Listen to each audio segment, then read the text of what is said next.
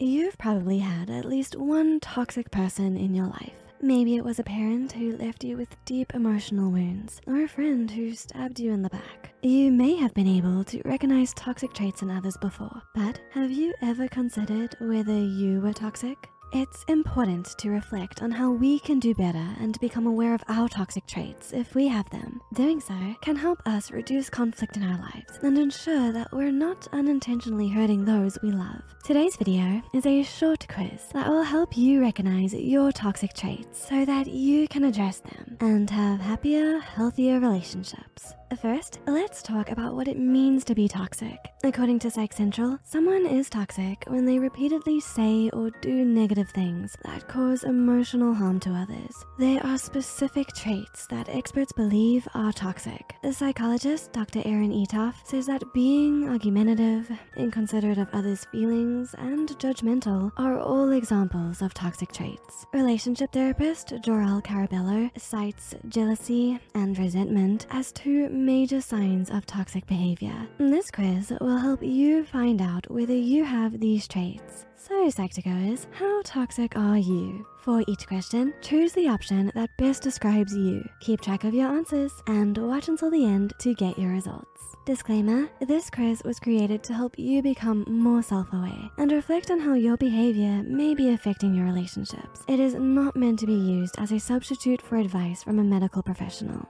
Question one, you're joking around with your friend and you accidentally say something a little too sarcastic. They are visibly upset and tell you that you've really hurt their feelings. Do you a. Tell them they shouldn't be so sensitive. You were just joking. B. Say that you didn't mean to hurt their feelings, but refuse to apologize. Or C. Apologize and admit you took the joke too far.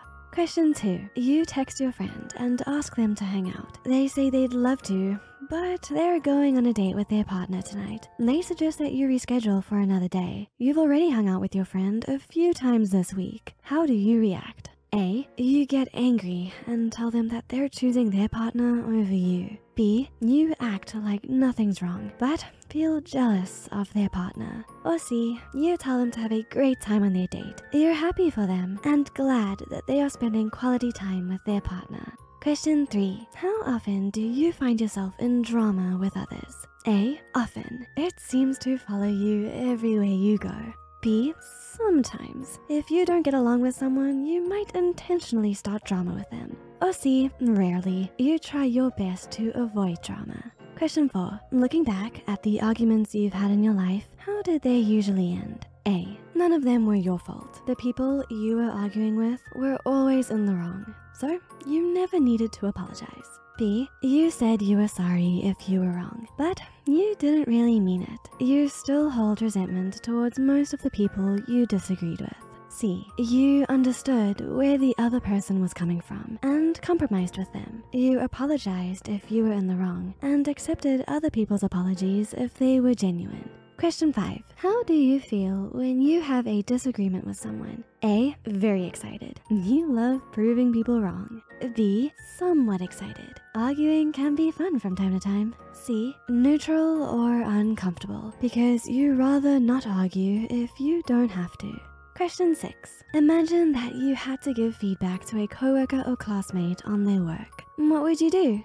A. Try to find as many mistakes as you can and point them out. Even if they do a good job, you never comment on what they do well because you enjoy being critical. B. Give your honest opinion and don't pay much attention to how your comments might make them feel. Or C. Try your best to give helpful, constructive feedback while being considerate to their emotions. Question seven, how do you feel when people tell you about their accomplishments and success? A, you feel threatened. You think about how you measure up to them and whether they're better than you.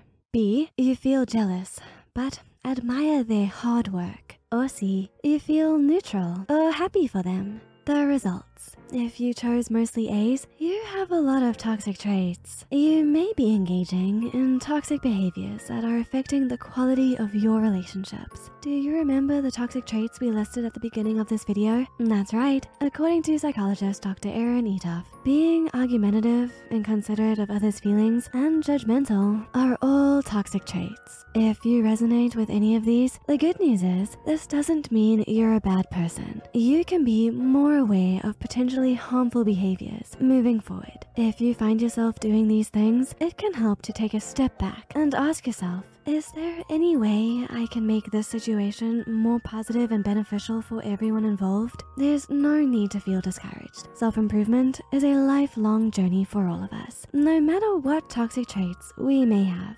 If you chose mostly B's, you have some toxic traits. You could benefit from a little self-reflection, but you're pretty good at keeping your toxicity in check. You might have a hard time admitting you're wrong sometimes, or start arguments even when they're unnecessary, but you don't intentionally hurt others. Let's review some of the warning signs to look out for. In an interview with Healthline, relationship therapist Jor-El Caraballo pointed out that jealousy and resentment are two indicators that toxic behaviors are affecting your relationships. If you find yourself having these feelings, instead of acting on them, it can help to pause, acknowledge your emotions, and explore why you have them. If you chose mostly C's, you have little to no toxic traits. Congratulations! Your results show that you're a healthy communicator and don't indicate signs of toxic behavior. You're empathetic, non-judgmental, and can take accountability when you've messed up. You've probably done a lot of self-work to get to this point, so give yourself a pat on the back. Oh, and be sure not to let others take advantage of your kindness. Remember that this quiz is just for fun, and your results don't make you a good or bad person. If your results weren't what you expected, look at it as an opportunity to learn more about yourself and what behaviors to look out for moving forward. If you're watching this video, you're probably willing to be better for yourself and those around you, which is something to be proud of. So Psych2Goers, what were your results? Share them in the comments below and find out how others scored. If you want to learn more about this topic, check out our recently posted video on 6 signs you're becoming a toxic person. Those of you who watched this video appreciated looking inward and recognizing your behaviors that might be causing unnecessary harm or conflict. We're proud to have a community that is so open and willing to self-reflect and learn more about how you can improve subscribe, and hit the like button if you want to see more content that helps you learn about yourself and others. Thanks for watching. Until next time.